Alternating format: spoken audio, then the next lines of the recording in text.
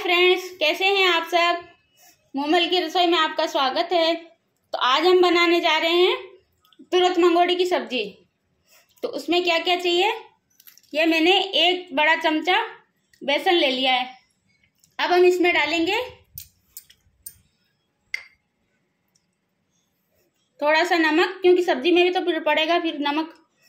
और यह थोड़ी सी लाल मिर्ची। और थोड़ी सी हल्दी। और ये डालेंगे थोड़ा सा जीरा।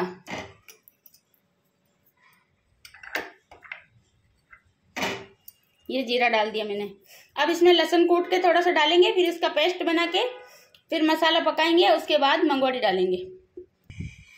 तो ये मैंने लहसुन कूट दिया है। अब इसमें डालेंगे पानी। ये मैंने पानी डाल दिया।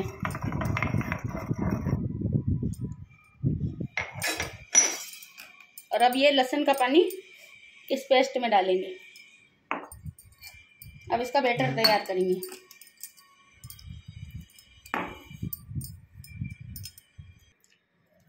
यह देखिए, अपना बैटर तैयार हो गया है। ऐसी कंसल्टेंसी रहनी चाहिए इसकी।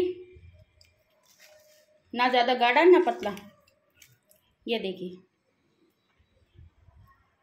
ऐसा बैटर बनना चाहिए। और अब हम सब सब्ज़ी के लिए लहसुन कूट लेंगे।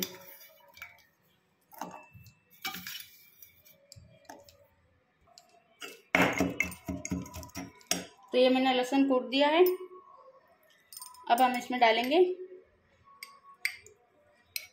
ये आधी चम्मच हल्दी की।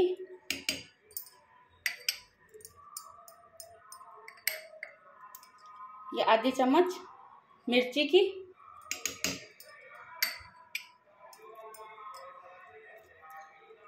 और ये एक चम्मच धनिया की। और अब हम गैस ऑन करेंगे।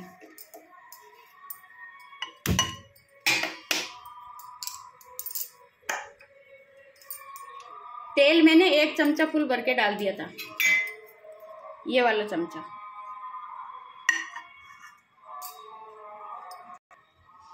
ये देखिए, तेल हमारा गर्म हो चुका है। अब हम इसमें डालेंगे जीरा।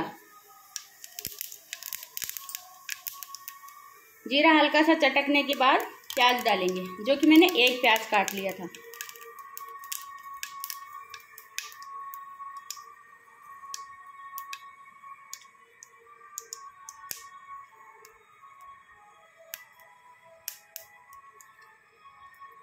ये मैंने प्याज डाल दिया।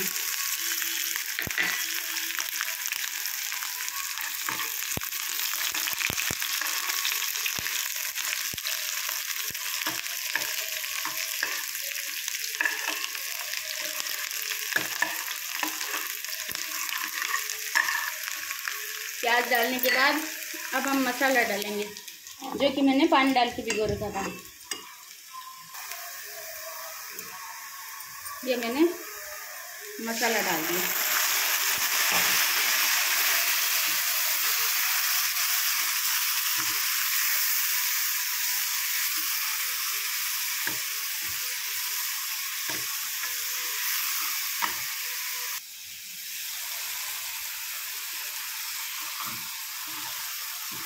ये देखिए हमारा मसाला पकने वाला है। मसाला पकने के बाद इसमें डालेंगे पानी।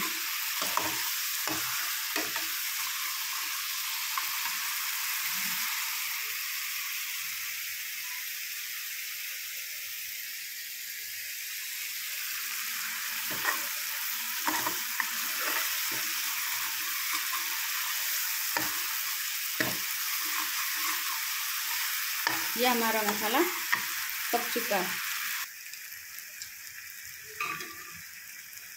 अब इसमें ये दो छोटे गिलास पानी डालेंगे।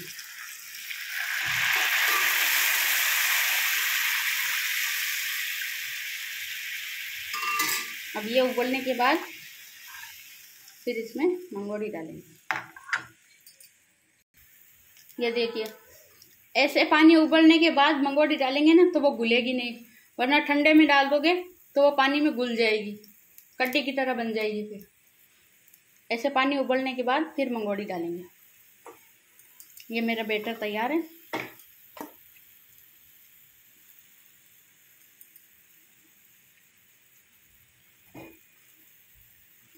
ऐसे चम्मच से सारी मंगोड़ियाँ डालेंगे।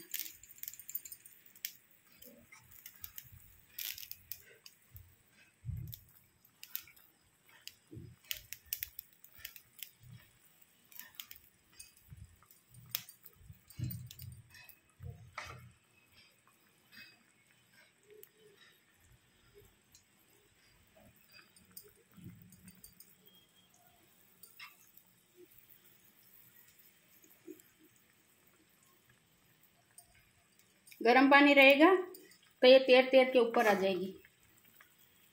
वरना अंदर घुल जाएगी पानी में। ठंडे पानी में अगर डालोगे तो। ऐसे ही सारी मंगोड़ियाँ अपन इसमें डाल देंगे। मैं सब्ज़ी बच्चों के हिसाब से मिर्ची कम डालती हूँ। आप अगर ज़्यादा